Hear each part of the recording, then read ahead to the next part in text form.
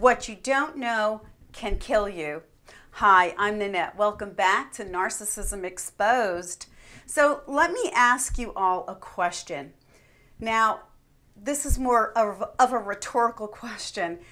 If you knew something really bad was going to happen to you tomorrow at 12 o'clock, would you make sure you were protected and taken care of and in, in a safe place? Of course, the answer is of course you would. However, you don't know what you don't know. And with regards to a narcissist and running into one of the, those types of people that are demonically driven, and unbeknownst to you, you get entangled with that person. Well, today I'm going to read to you a comment somebody wrote to me, and we're going to cover some scriptures to help moving forward, help you never to trip over a narcissist again. So, this gentleman wrote to me about somebody he had married.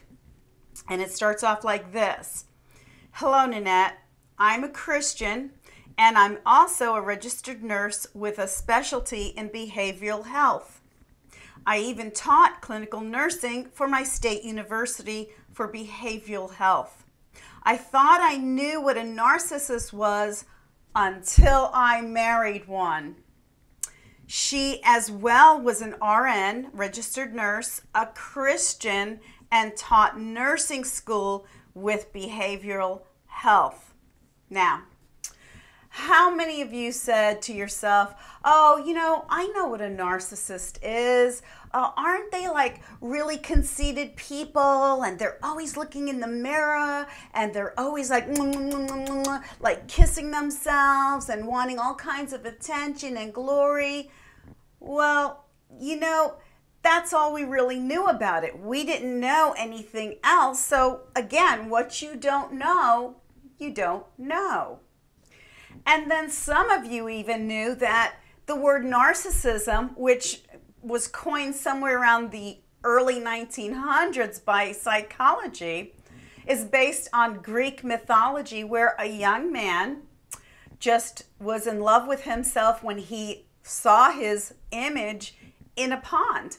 And he couldn't he couldn't move away from his image till he finally passed away.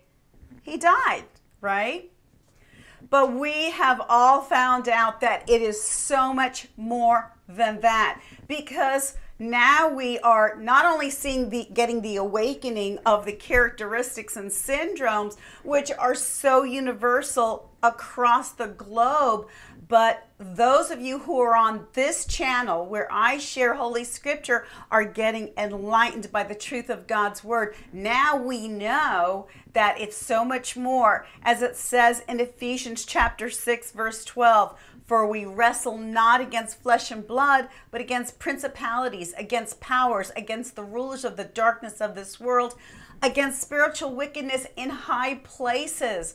That's right.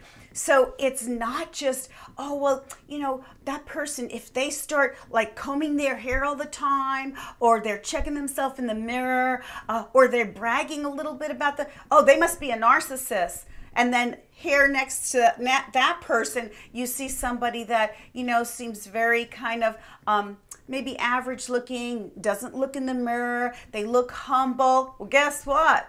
You don't know what's under that cover, do you? Because basically, the devil has hidden what's really going on in these narcissists with that Greek mythology. That's right. So many people never get past the, well, I guess if they're bragging and they're conceited and they're looking in the mirror all the time, I guess that's what a narcissist is. And they never suspect that that well-educated person, that person who seems to have a great career, that responsible woman or man, uh, the person that always volunteers, they never understand that that could be a potential narcissist because of the victim that they hide out in their little prison that many people never become aware of until you become a victim yourself.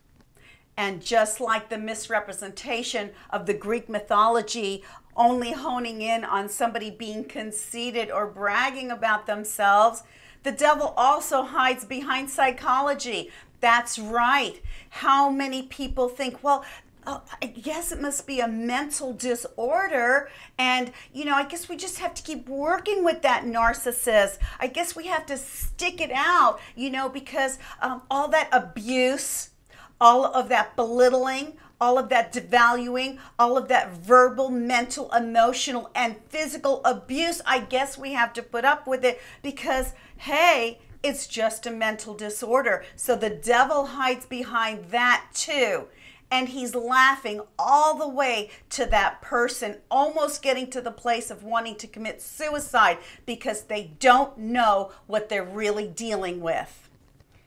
And then the other thing that he mentioned in his comment was that she was a Christian. Look, many narcissists are self professed Christians, and I emphasize self professed. Hey, I'm a Christian. I love God and I love everyone. And you know what? Anybody can say those words, but what God looks at are, is the heart, the intentions. What is the intention of that person? So a lot of times narcissists hide out in those in churches and in the pews of those churches and blend in with God's people looking at who he or she can catch as their prey, as their next victim. So here you go this gentleman saw this woman. She had a great career. She was a responsible person. She was a Christian. However, that's another mask that the narcissist uses and that the devil hides behind. So we see the three areas in this comment that the devil hides out in when working through that narcissist. The misrepresentation of, oh, hey, this just has to be somebody who's always conceited and bragging. That's all a narcissist is.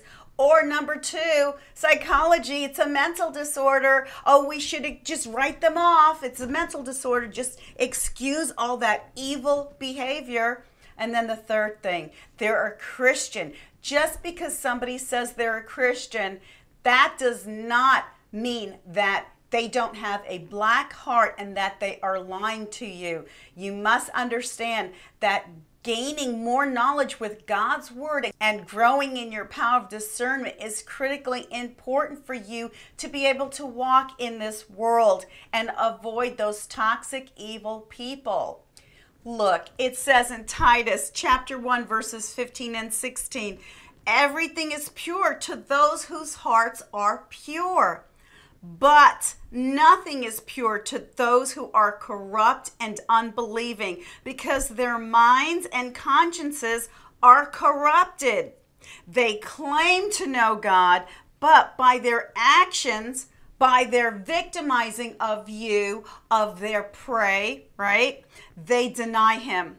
They are detestable, disobedient, and unfit for doing anything good.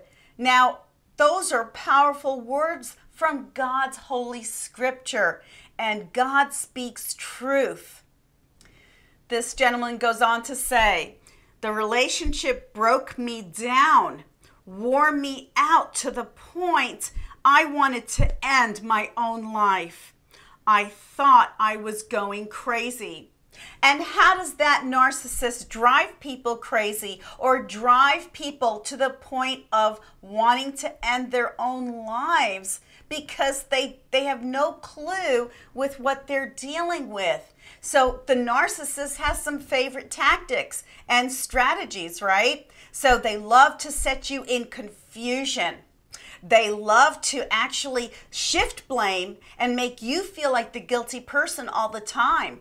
They love to throw you off balance, change the subject, do a word salad where you may bring up some a point of where you guys need to talk about an issue that you're observing. They will immediately deflect and then they'll start talking about something else or something you did 3 months ago or hey, I saw you do this, blah blah blah blah blah blah, blah, right? And that's kind of a word salad that they do. Or how about gaslighting you? Telling you, hey, you don't know what you're talking about. Oh, that never really happened. I think you're misremembering. Or stonewalling. You're trying to have a conversation with the narcissist and they just give you this blank look. Or they just don't respond or they walk away, right? Or how about ghosting, where you don't hear from them for days or even weeks? You don't know where they are, you don't know what they're doing, you have no clue. They leave you in the dark. You know, there's a fantastic verse of scripture in God's word, and it's in Proverbs chapter 17, verse 22, and it says, A merry and joyful heart does good like a medicine. But in contrast, a broken or crushed spirit zaps a person's strength and dries up the bones. Do you hear that? How many of you have suffered with a broken and crushed spirit from that narcissist to where you can't even move? You're paralyzed. You can't even think straight anymore. You know, when bones are dried up, they can't work very well, can they? So you see the analogy, the imagery here is very, very powerful, and we need to take this seriously. And regarding this gentleman's ex wife now, there's another great verse of scripture in Proverbs chapter 12, verse 4, and it says, A worthy and virtuous woman. Now, aren't you, men, men out there, aren't you looking for that virtuous and worthy woman?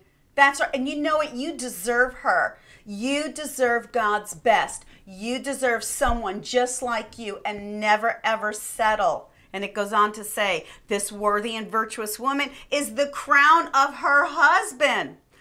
But here's the contrast a disgraceful wife who causes shame is as rottenness in his bones. There's the bones analogy again. Rottenness in his bones. Do you see the powerful words God is using here to show you that if you choose unwisely or you have not enlightened yourself to this kind of toxic person uh, or you ignore the red flags, this shameful woman is going to be as rottenness to your bones. And this gentleman talks about just how close he got to killing himself. And he goes on to say, the same month that it was over, I was able to hear from God and feel his presence. God delivers. God never leaves you out in the lurch with that narcissist. And he goes on to say, We parted our ways in 2019, but recovery is still going.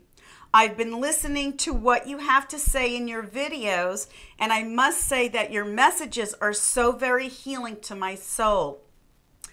You know why? Because I include God's word. That is the healing balm.